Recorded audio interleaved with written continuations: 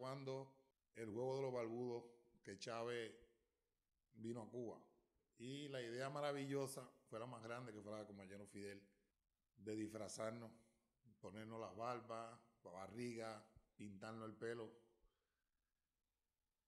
En el transcurso del juego, creo que para mí fue uno de los días más felices que lo vi, con una sonrisa amplia, algo maravilloso, algo que no se ve todos los días. Y sentir el orgullo de, de animar tanto a dos presidentes, tanto a Chávez como a Fidel, en un día tan, tan inolvidable como aquel día, creo que esas son cosas que uno se lo llevará siempre, pues la llevará por dentro y la tendrá siempre dentro de sí hasta que, hasta que uno deje de existir.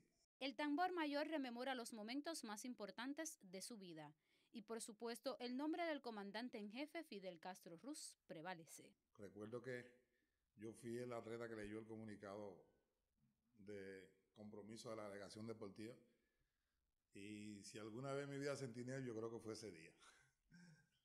Los nervios fueron tan grandes de, primero, la, darme el derecho a mí a leer el, comunicado en compromiso de los atletas. Y segundo, estar en, la, en el lugar donde iba a estar presente el comandante y todos los miembros del comité central. Creo que ese fue el día más tenso de mi vida porque, bueno, fue la primera vez y fue la primera posibilidad, la primera emoción que tuve yo en lo personal de, de poder compartir con el comandante. Anécdotas que nos recuerdan la grandeza de nuestro líder. Tres días antes de, partir hacia Winnipeg.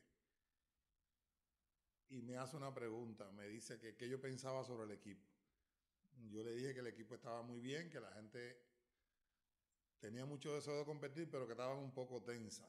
Y él me pregunta, ¿pero por qué tú estás tenso si tú sabes que ibas a hacer equipo como quieras? Digo, yo sé que iba a ser equipo, pero me siento tenso al igual que los muchachos. Porque pensamos mucho primero en hacer el equipo.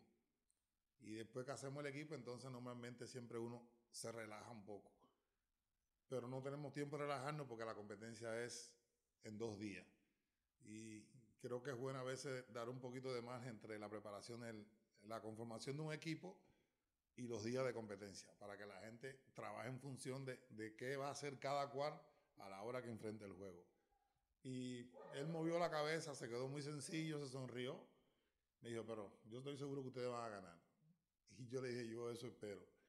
Al próximo año, cuando integramos el equipo, Fidel nos vuelve a recibir y me llama aparte. Me pone la mano en el hombro y me dice,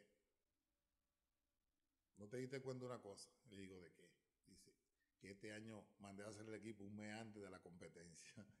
Oreste Esquindelán tiene mucho que agradecerle al impulsor del deporte revolucionario. Desde los primeros días que yo hice equipo Cuba, desde el año 86, cuando el comandante no, siempre nos, nos daba la posibilidad de despedirnos y de recibirnos, yo decía que el equipo Cuba estaba bendecido por sus palabras, porque la palabra de aliento, de, de confianza, de seguridad que él siempre nos transmitía, yo creo que eso nos daba un valor a nosotros increíble.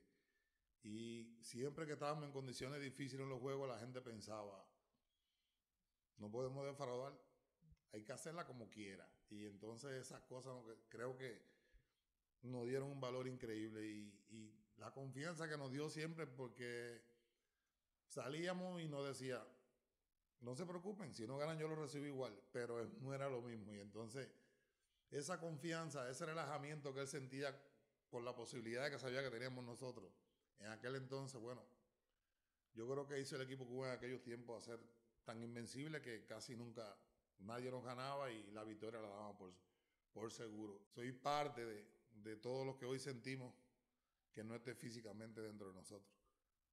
Pero pienso que que si hay una persona en el mundo que la gente no lo va a querer, lo va a mirar, siempre lo va a sentir, ese va a ser Fidel.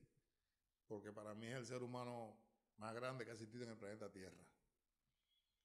Y digo yo que el hombre que llevó la 13 más fuerte en el mundo. El coraje, el corazón y punto suspensivo. Robier Mesa y Brita García Alberteris, Sistema Informativo de la Televisión Cubana.